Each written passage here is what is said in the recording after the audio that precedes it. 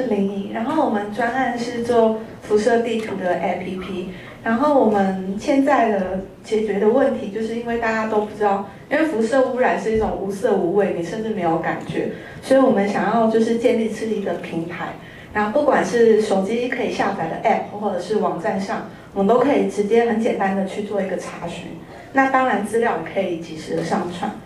好，那我们目标就是要结合全民的量测，就是因为有一种就是辐射的量测的小小型的仪器，就像血压机那样。那现在日本因为之前那个之前那个大地震之后，他们那种仪器都非常的普遍，几乎人人家里都有一只。那我们透过这样的测量的数值上传到这个平台之后，可以就是在地图上呈现我们周遭环境的污染值。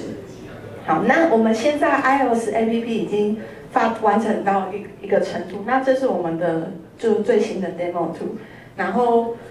我们的网站也已经有一个就是最基本的一个建制，但是我们现在缺前端的工程师，我们后端的资料库都已经就是建制的差不多了，但是我们人力缺乏，所以我们从三月到现在这就是还还还差一大部分。那我们需求就是我们是用 Visual ID 的那个城市去做，然后我们缺 PHP，就是网站建设的部分。那如果说你对这些有一些接触的话，也欢迎加入我们。那我们就是还有一个就是非常缺 Android 系统的工程师，对我们 iOS 做好，可是 Android 还没有做。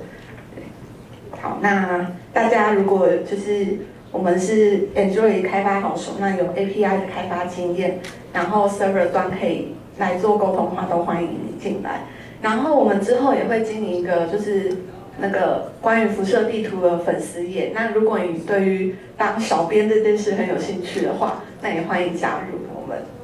对，然后这是我们团队。好，然后谢谢大家，这是我们联络人沈丽。对，好，谢谢。